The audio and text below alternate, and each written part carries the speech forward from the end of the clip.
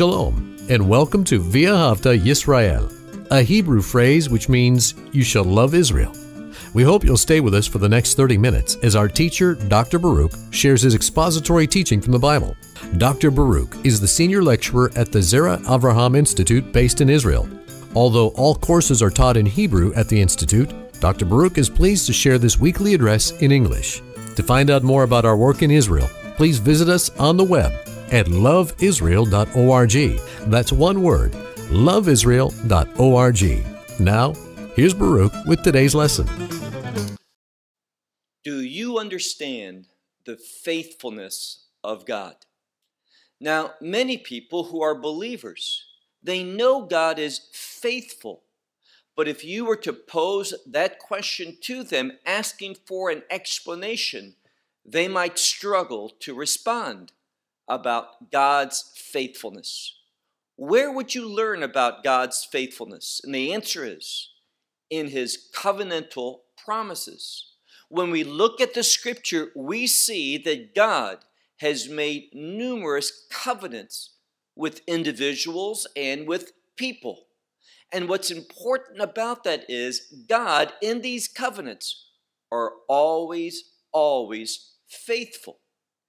Even when there's prophecy concerning the disobedience and the rebellion of the children of Israel, or that southern kingdom, Judah.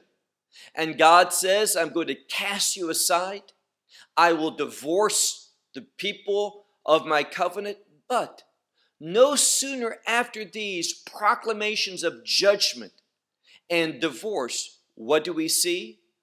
God calling his people to repent and God reaffirming his covenantal promises and prophecies about them being secure in him through his faithfulness. And also, what is seen as God's grace. So, God's grace, he provides what we don't deserve, but what we desperately need in order that his faithfulness can be received by his people and thereby his people can behave faithfully.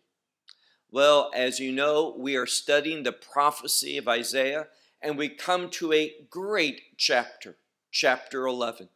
So take out your Bibles and look there with me to the book of Isaiah and chapter 11. In this session, we're going to look at the first 10 verses. And when I look at it, in my Bible, there is a sentence over this chapter to help us understand what it is about. And it says, Sheton hasedek shahachoter mi geza yishai, which means the righteous ring of the shoot or twig from the stump of Yishai or Jesse. And it all speaks about God's covenantal promise to King David that from him would come the Messiah. And again, once God makes a covenant, God may distance himself momentarily from that covenant because of someone else's disobedience, their rebelliousness. But in that same generation or another generation or down the road, you will see God always, always affirming, restoring, and fulfilling his covenantal promise. David was not a perfect man.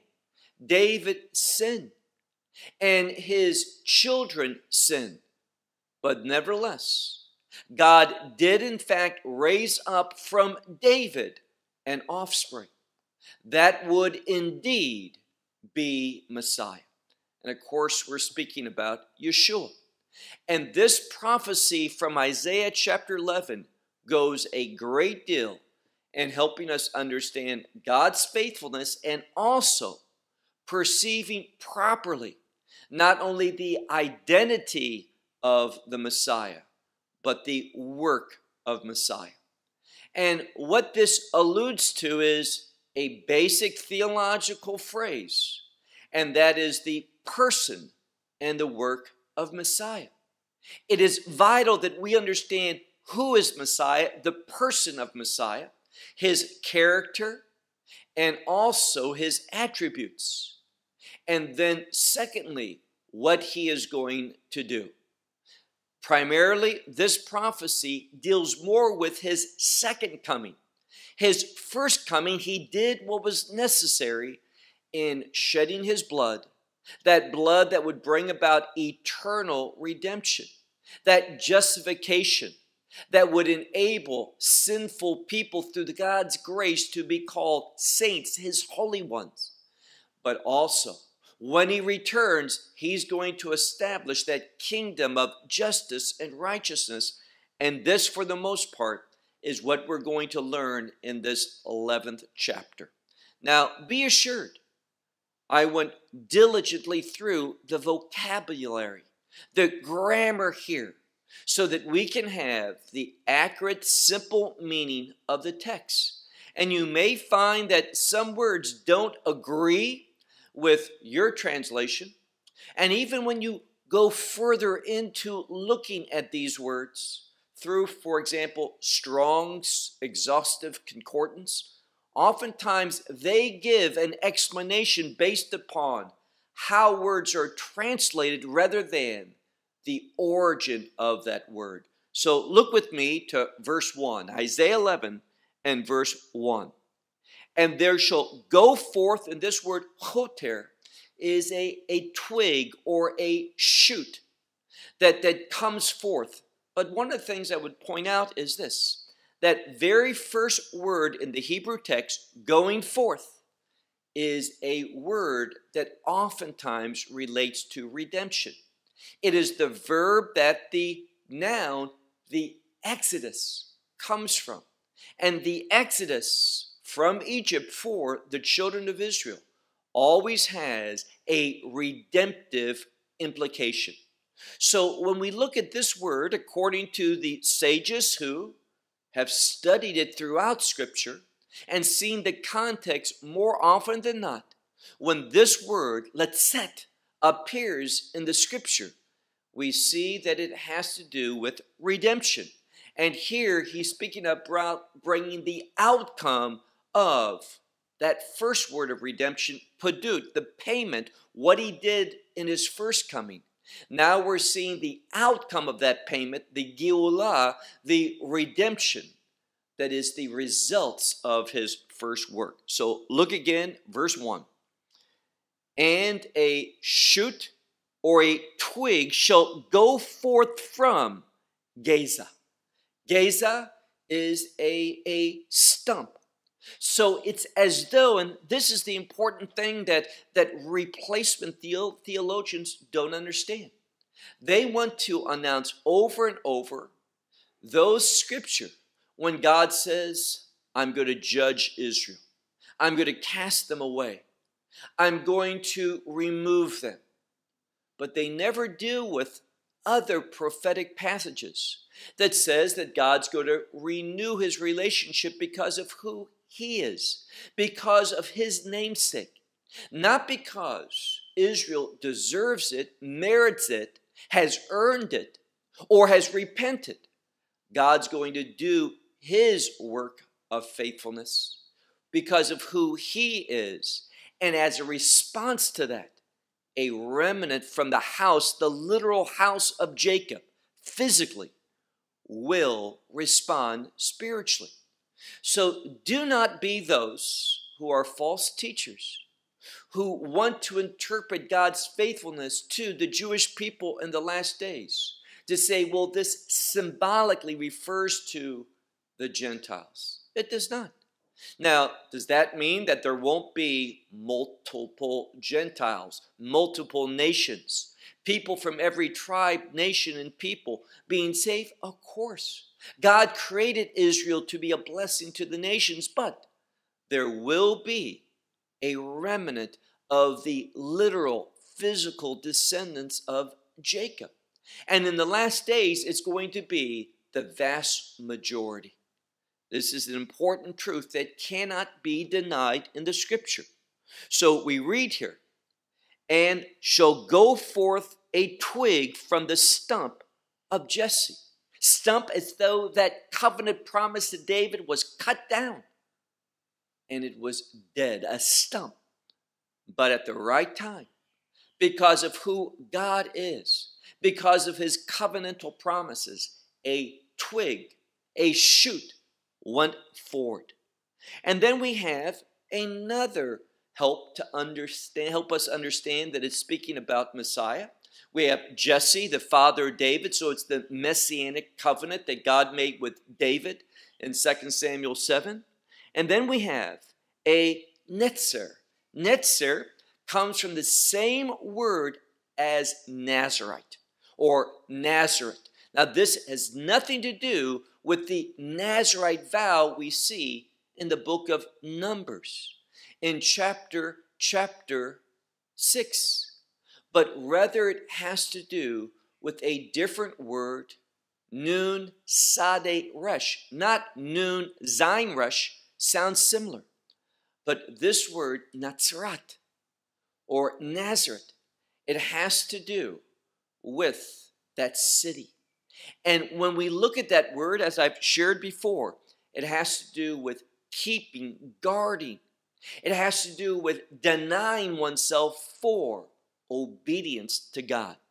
So this tells us that this one who's going to come forth, this twig from the stump of Yishai, Jesse, is going to be one that denies himself in order to keep the word of God.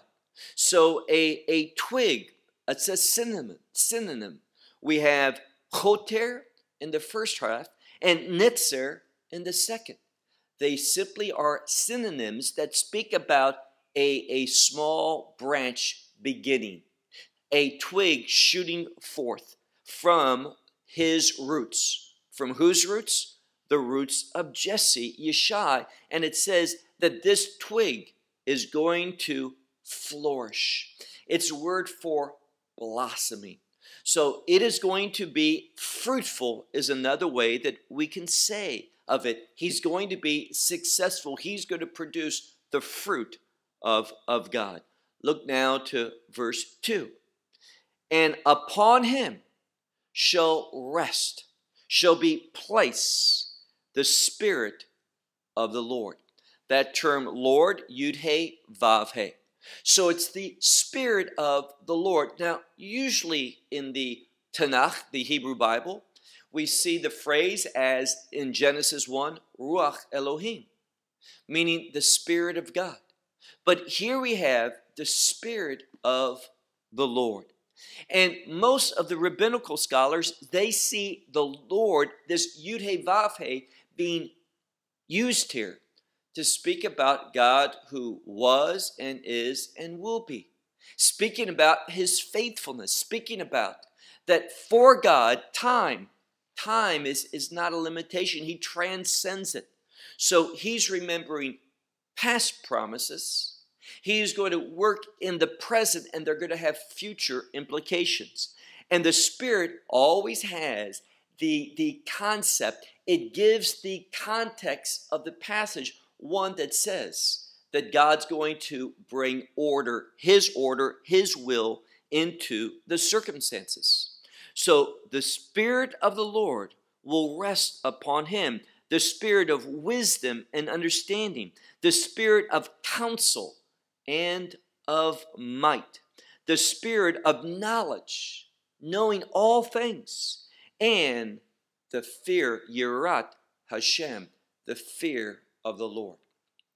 So we have a very complete definition of, of the character of the Spirit of God and the benefits of the Spirit of God.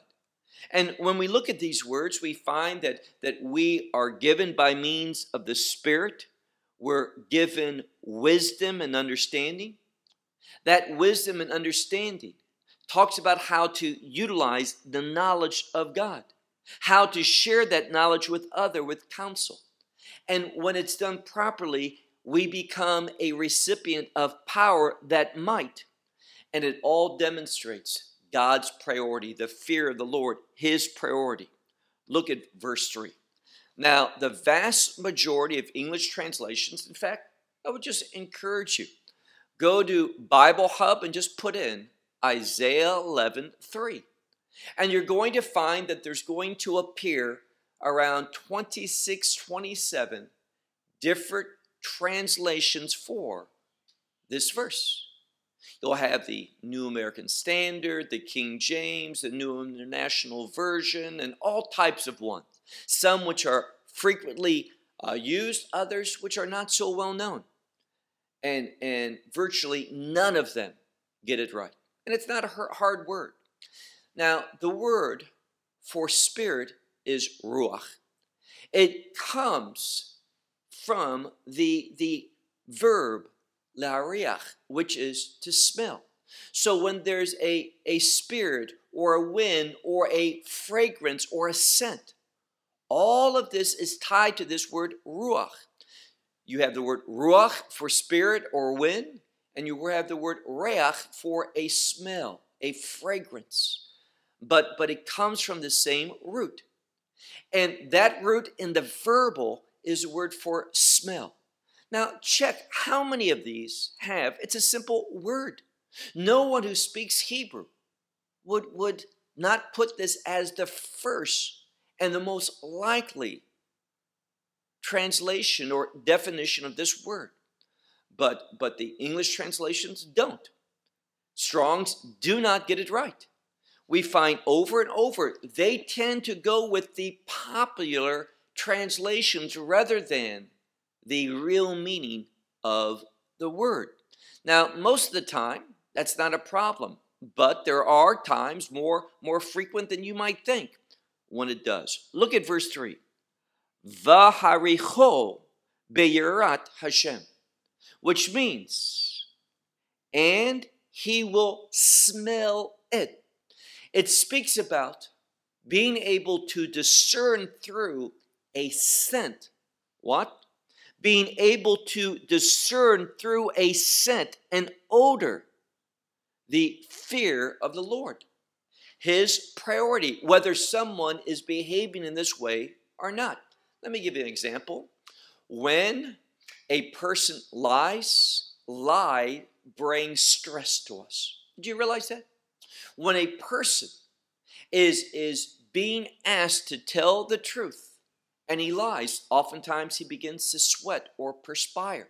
And even if you don't see, see that sweat the body goes through a physical change when you lie. And when you go through that physical change, your body will, will produce different scents, different odors. And so, what it says here, and by the way, a, a psychiatrist will tell you that sometimes a smell can bring about great memory you smell something, it's like you're taken back to that situation. There's an account where someone witnessed a, a terrible thing. They were in the, the ocean, and the ocean has a smell, and the boat that they were in capsized, and many of the beloved family members of this individual died. It was a, a, a tragic time. And this person had a, when he was rescued, a, a blanket put around him.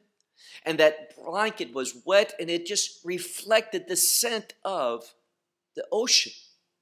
And this person says every time that he smells that same fragrance, it causes him, it just takes him back to that situation.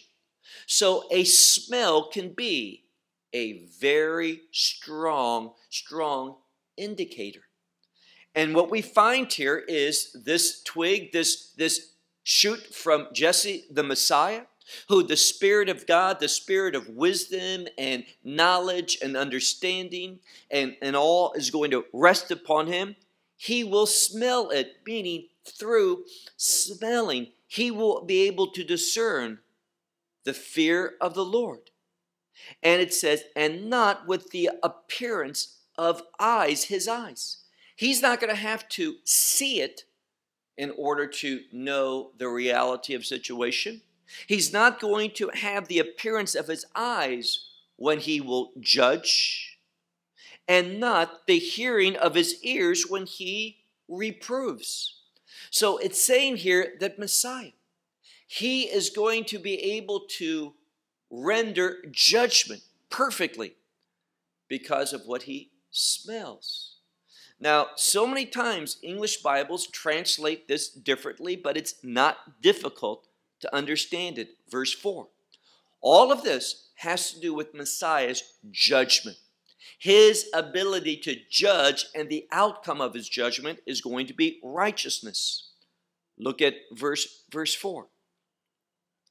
And he will judge with righteousness the Dalim.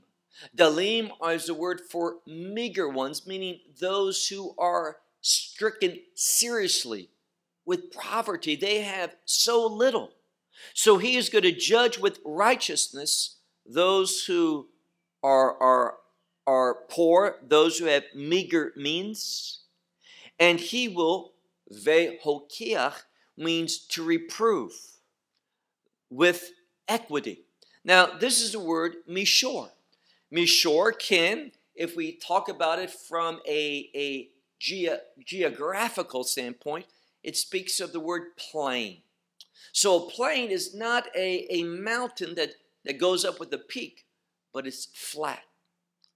And, and this word for plain can mean when we put it as an adjective for describing righteousness or justice, it has to do with the phrase, probably best would be equity. He is going to give that which is equitable, that which is upright. He's going to judge honestly. So look at verse verse 4. And he will reprove with equity the humble of the earth. I think most of the English will say the meek of the earth, but it has to do with those who are humble. And he will strike the earth with the rod of his mouth. Meaning, in the same way that he can judge uniquely, he will also be able to simply speak, and the punishment will come forth. So notice how these same terminology and symbols and such are also seen in the book of Revelation with the second coming of Messiah. Once more, verse verse 4, he will judge with righteousness the meager he will reprove with equity for the meek or the humble of the earth. He will strike the earth with the rod of his mouth. He'll just speak judgment in being and with the spirit of his lips. This can also be with the breath of his lips. He will slay, yamit, he will kill the wicked. So Messiah is coming to judge when he comes the second time. Verse 5. And it will be righteousness that he will gird his waist. And with faith, the faithfulness, he will gird his loins. So that and these terms for girding has to do with a servant.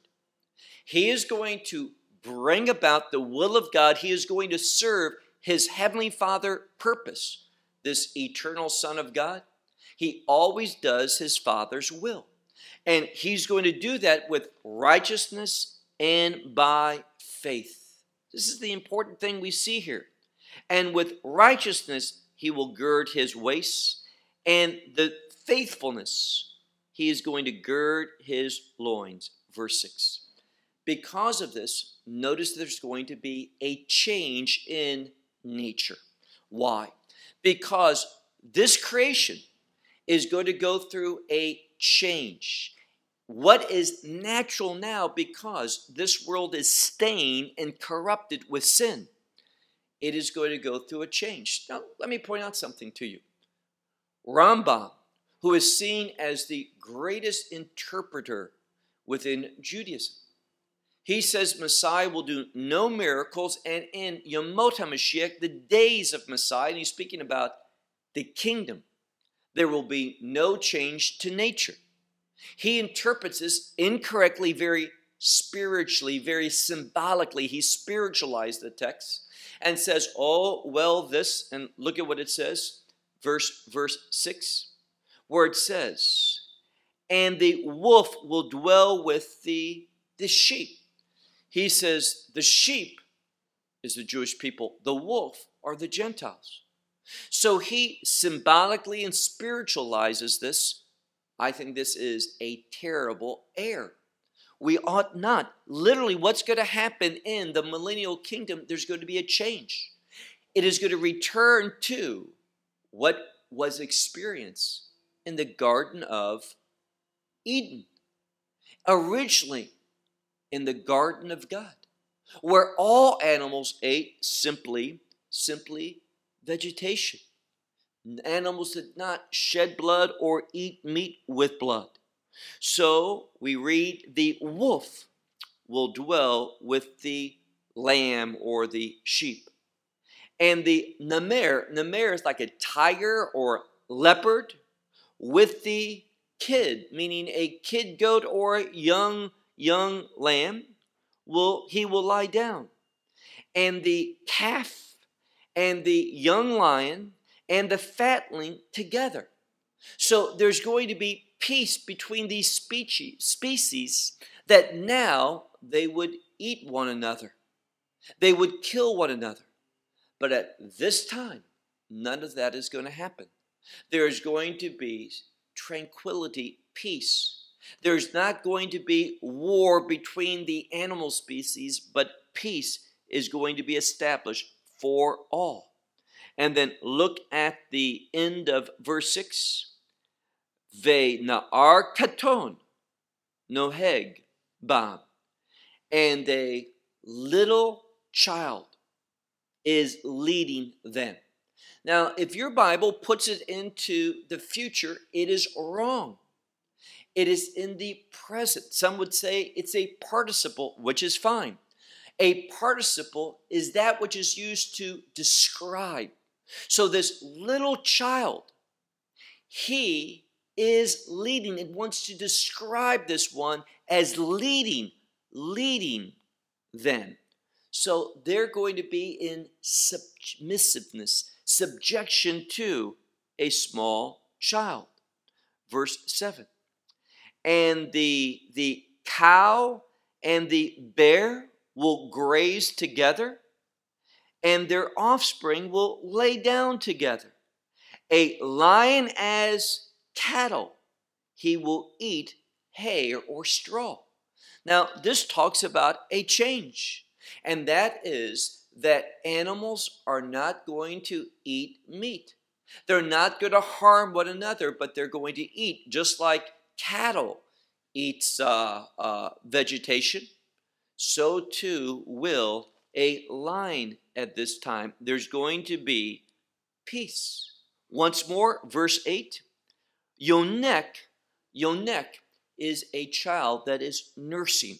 So one that's very young, less than, than three, probably around two. He will play above the the hole of a python. Now, we have two, and the second we'll have the second, two types of, of snakes. This first one, if you look at the Hebrew, it's the word pa-ten.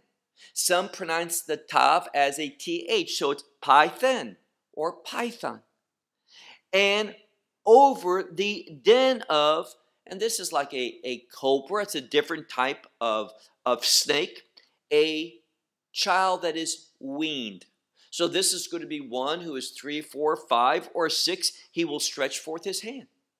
So, in a seemingly very dangerous place in our age, it will have no problem. Notice what it says in verse 9. Lo yireu, which means there will not be any evil. Some will say, no harm. That's fine. No evil, nothing bad. No harm is going to come to them, and no destruction will be in all my holy mountain. And this is referring to Jerusalem, and here it can be understood as in his kingdom. His kingdom is not going to produce anything, and this word ra, although it's a verb here, it speaks about that which is in contrary to the will of God. Now, I was speaking, answering an email about this, this rod or staff of iron in the hand of Messiah. He's going to rule with that, which means during the millennial kingdom, Messiah will enforce one, not to sin. And if they do, they are going to be punished.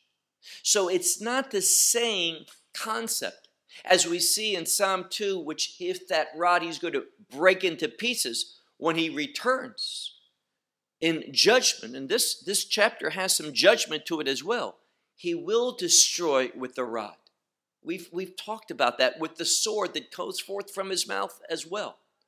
But the rod of iron that he rules with simply is a reference that he is going to be in absolute control. So look again at verse 9. No evil, nothing outside of my will will be. No destruction in all my holy mountain. For the earth is full of the knowledge of the Lord. Now, there's great implications to this. The more you know God, the less there's going to be destruction and harm. And more you know God, you're going to not bring about that which is destructive, but that which is a blessing. So the knowledge of the Lord is going to fill the earth as the water covers the sea. So, in the same way, the water, all the sea is covered with water. All of the kingdom is going to reflect the knowledge of God. One more verse, verse 10, and we'll stop. Beyom hahu. That phrase, on that day, refers to judgment. This is a key indicator that we're speaking about the second coming. And it shall come about on that day that the root of Jesse, Shorish Yishai, this is a reference to Messiah. It says, who is standing. Now, it's in the future, he will do this, but when these things are happening, it's telling us at that time, he's standing as a ness.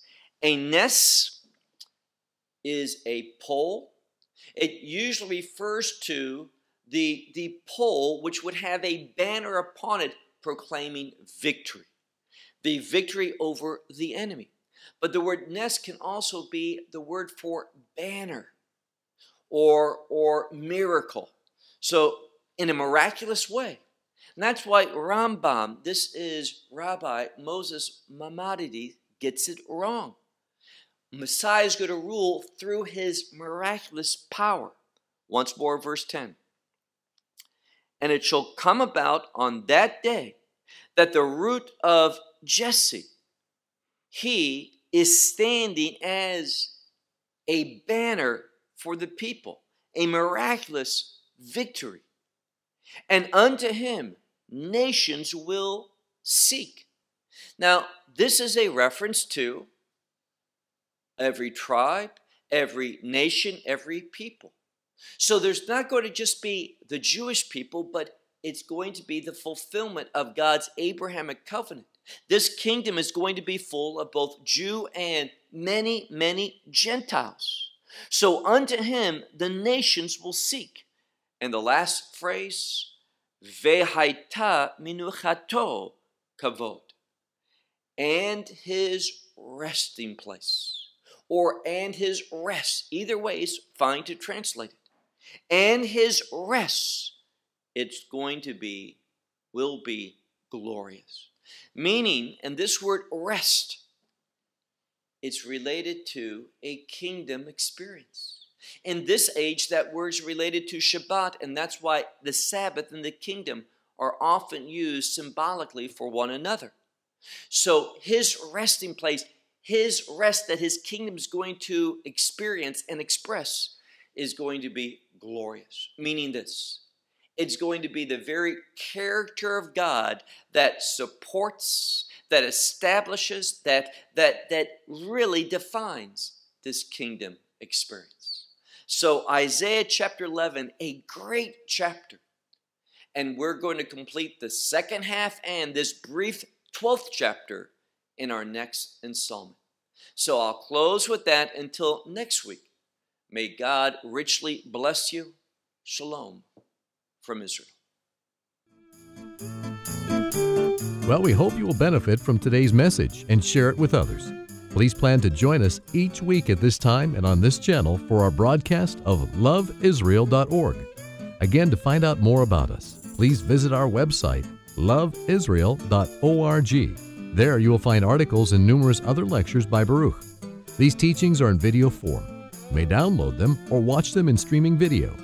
Until next week, may the Lord bless you in our Messiah Yeshua, that is, Jesus, as you walk with Him. Shalom from Israel.